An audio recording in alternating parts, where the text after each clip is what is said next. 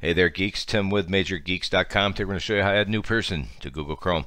Some people might call it an, a new profile or a new user. Call it whatever you want. What you need to do is just click on the icon in the top right corner.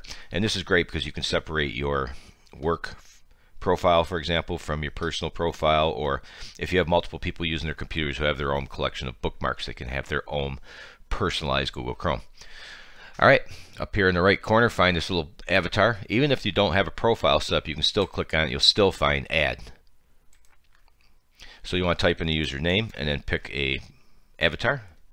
Go with a bicycle. Ooh, cheese. Cheese. So I'm going to show you now is when you hit Add, you're going to get two desktop shortcuts. For example, here's my Google Chrome shortcut. When I click add, I'm going to have two new shortcuts, one for each user or profile. So there's Major Geeks Chrome, and there is Tim Chrome. And you can just, when you're ready to go, just double click whichever one you want, size it where you want.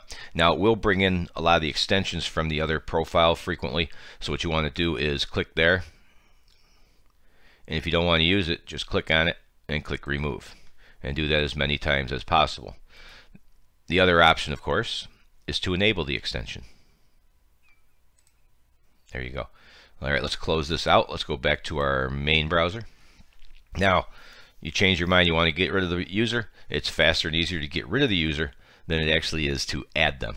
So, what you want to do now is come over here.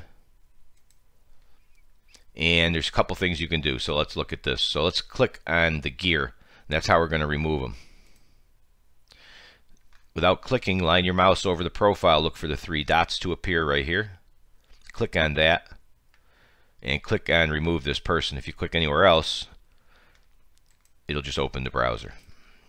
Let's do that again. Gear, mouse over, click over these three dots, remove click remove this person. What's nice about this is let's say you made a mistake and you want to change the name or something, you can quickly remove them and just do add person and you go right back to where we were a minute ago.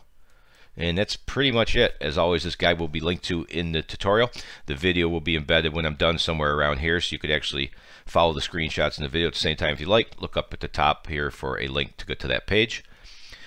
And uh, yeah, that should about do it. Thanks for watching as always. See ya.